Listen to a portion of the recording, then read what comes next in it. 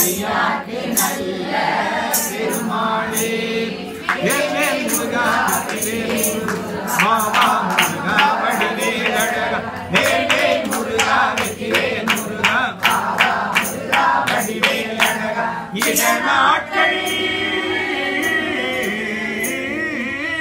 இட நாட்கள் வெய்ய நம நீதி தொய்ய இட நாட்கள் நீதி தொய்ய இன்னல் கொடுகோயில் இடுகாட்டில் என்னை எரியூட்டும் என்னை எரியூட்டும் நம்மை உணர்வேனோ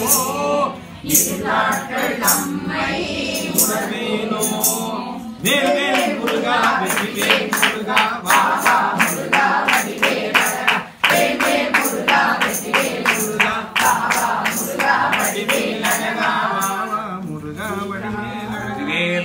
முருகனுக்கு. ஆண்டவருக்கு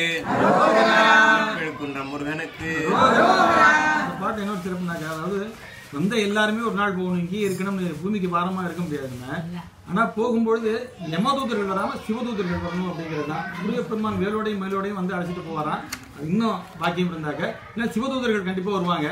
அந்த சிவ நாமத்தை சொல்ற முருகப்பெருமானுடைய நாமங்களை சொல்ற அந்த ஏரியாவுக்கே வர்றதுக்கு வந்து அஞ்சுவானா அது இந்த பாடல இன்னொரு சிறப்பு என்னன்னாக்க அந்த நாட்கள் வர்றதுக்கு முன்னாடியுமே இருக்கிற நாட்களையுமே நம்ம ஆனந்தமா இருக்கணும்ல. அதாவது நமக்கு வந்து வேதனைகள் வரலாம் அதாவது துன்பங்கள் வரலாம் அதனால வேதனை உண்டாகக்கூடாது. நோய்கள் வரலாம் ஆனா அதனால வேதனை உண்டாகக்கூடாது. கஷ்டங்கள் வரலாம் அதனால வேதனை உண்டாகக்கூடாது. அப்ப ஆனந்தமாக வாழணும்னாக்க அது அது வந்து நம்ம ஊழல் எப்படி வரும் ஆனா நம்மளை வருத்தாது. அதாவது வந்தா கூட நம்மளை வருத்தாம இருந்துட்டு போயிடும் இல்ல சின்ன அளவுல வந்துட்டு போயிருமா. அப்ப அவனுடைய இரு தாள்களை உணர்ந்தால் இடுகாட்டில் உன் எண்ணெய் எரியூட்டும் அந்த நாள் வந்து நம்ம தவிர்க்க முடியாது. ஏன்னா நம்ம இங்க இருக்கிறதுக்காக இருந்து என்ன புண்ணியம்? நமக்கு என்ன புண்ணியம்? மற்றவங்களுக்கு என்ன புண்ணியம் நம்ம இங்க இருந்து இருக்கிறதுனால?